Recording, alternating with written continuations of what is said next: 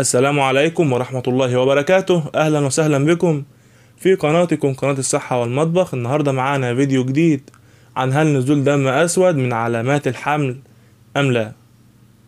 يقول الأطباء المتخصصين في أمراض النساء والتوليد أنه من الطبيعي أن ينزل دم أسود في أول أيام الحمل ويرجع هذا إلى انغراس البويضة في بطانة الرحم بعد عشرة إلى 14 يوم من حدوث الإخصاب وهذا العارض تعاني منه حوالي 30% من النساء الحوامل وإذا استغرق الدم بعض الوقت للخروج من المهبل فقد يبدو باللون الأسود القاتم وغالبا ما يكون دم انغراس البويضة بالرحم على الشكل التالي.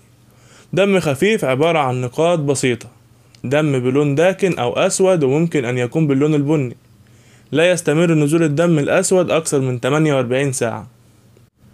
وطبعا في حالة الشكوك حول موضوع الحمل يفضل عمل اختبار الحمل المنزلي وإذا وجد الحمل يجب التوجه للطبيب ووصف الأدوية والفيتامينات وحمض الفوليك أسيد الذي يمنع من تشوه الجنين.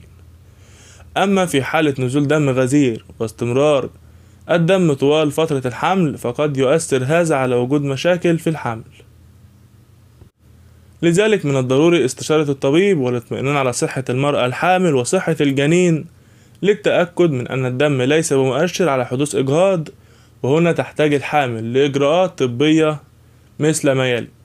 تناول مثبتات الحمل والحصول على الراحة التامة وعدم الإجهاد والمتابعة المستمرة مع الطبيبة. في نهاية الفيديو ننوه أن المعلومات المذكورة في هذا الفيديو لا تغني أبدا عن زيارة الطبيب وللمزيد من المعلومات حول هذا الموضوع يمكنكم الرجوع إلى مصدر هذه المعلومات في وصف الفيديو.